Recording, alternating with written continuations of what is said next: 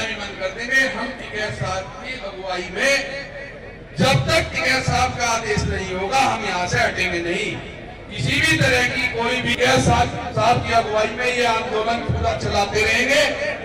और जब तक ये अजय कैनी बर्खास्त नहीं होगा, इसके अपने किए की सजा नहीं मिलेगी। हमारा यह आंदोलन क्रूर सरकार है।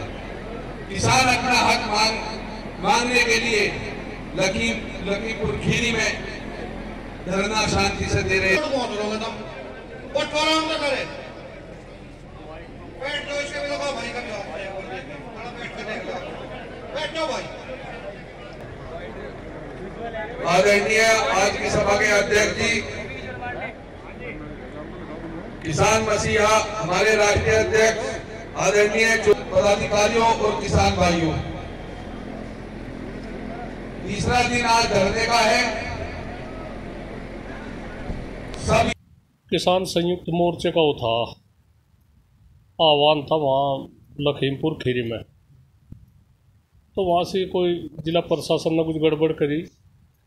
किसानों की जो जन सुविधा है, जो वहाँ से पानी की है, और जो कुछ भी ज़रूरी चीज़ है, वो बंद कर दी उनकी वहाँ से। तो उन्होंने कहा कि भाई, इस तरह की नई बात है तो हम ए, एक ज़िले में है तो हम पिछहत्तर ज़िलों में कर देंगे। तो वहाँ से परसों आह्वान हुआ पिछहत्तर जिलों में।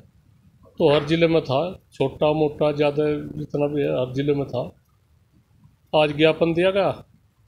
प्रधानमंत्री भारत सरकार के नाम और मुख्यमंत्री जी योगी आदित्यनाथ जी उत्तर प्रदेश सरकार के नाम तो क्या मांग रखी से? नहीं उसमें यही है भाई जो किसानों की समस्या है जो एक वही प्रकरण चल रहा लखीमपुर वाला। सबसे मुद- बड़ा मुद्दा तो वही है और बिजली का भी है और जो गन्ने के भुगतान की है। जो जिस क्षेत्र की जो समस्या है सरकार अनदेखी कर रही है किसानों की तो वो वो ना करे। किसानों की मजदूरों को अनदेखी ना करे अपना जो सही काम है वो करे। लोकल स्तर पर रहा पदाधिकारियों अधिकारियों नहीं, अधिकारियों ने इतनी नौबत ना रखी। वो तो चलो हम इस तरह की नहीं, फिर हम दबा ले दाबे को। पर अधिकारी कितने अधिकारी बेलगाम हो रहे।